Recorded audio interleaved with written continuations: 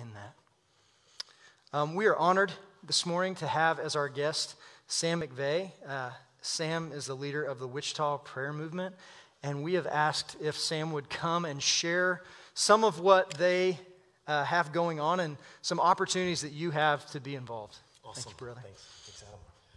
Yeah, it's good to be with you this morning. Um, I love West E-Free, and um, Pastor Ken's become a good friend of mine, and I love Adam and Greg and their hearts for the Lord, and just so thankful to be here this morning.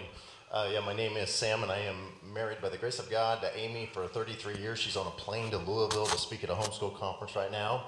We have nine kids, 20 grandkids, and are in over our heads. And so um, we lead a ministry called Disciple Nations. And Disciple Nations is locked in on and committed to spreading the supremacy of Christ in all the earth by igniting movements of prayer and disciple making. And um, I get to work with prayer quite a bit, and because of that, people will say, hey, he's the prayer guy. That's the prayer guy. I'm a prayer guy because I'm a Bible guy. I love my Bible, and my Bible from Genesis to Revelation is full of stories of God talking to God, which are dynamic, the Trinitarian, one God, three persons. It's awesome. And of God talking with man and man talking back, and that changing the course of history. Uh, nowhere is that highlighted greater than the Gospels, where Jesus, as Adam said so well, is often withdrawing to lonely places to pray. He's giving promises about prayer, amazing examples of prayer. And in what is arguably the greatest ministry, it is the greatest ministry that was ever on planet Earth, uh, the disciples ask him to teach them one thing Would you teach us how to pray in Luke 11? And so they knew that this was the heart of what he did, and he, in his ministry, began it in John 2 by kind of engaging the temple with zeal, remember, and running out compromise. And then Matthew 21 and Mark 11, he does it again he tears, he's turning over tables and he's got a whip and he's running out compromise and he makes this declaration, declaration My house shall be a house of prayer. And that house of prayer, I believe, is us. It's not brick and mortar. We are the temple of the Holy Spirit. And it's a statement of identity of not only what we do, but who we are. I would actually make the argument that prayer is one of the most human things you do. When you talk to your Creator, which is what our salvation bought for us, yes, we get out of a bad place, we go to a good place. But really, what it is, is we lost God and we get Him back through the atonement of Jesus Christ. So we now get to dialogue. And so you may say, I'm not a prayer person. I promise you, you will be. If you are born again, that's where you're headed.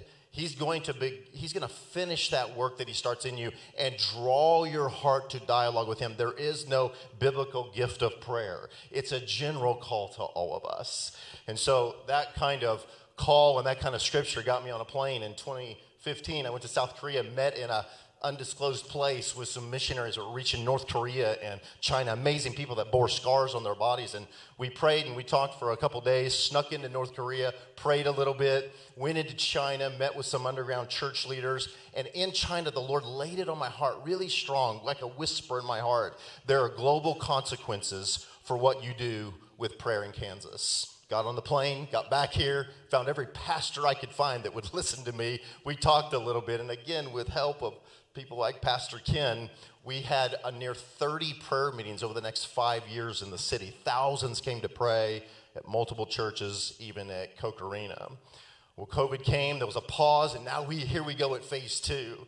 And I have given up congregational pastoring to give myself to this mandate, this scriptural call to the body of Christ, and this fewing of passion for Kansas. I'm living for trying to rally 100,000 intercessors in the state of Kansas that are all praying the same Bible verses the same day. We're looking to draw 10,000 in what we're calling the prayer furnace in Wichita, in just a simple prayer chain where we are asking everyone to pray one hour a week, to pray the scriptures one hour a week in a prayer chain. You go to the website, wichitaprayer.com wichitaprayer.com. Did I say the website yet?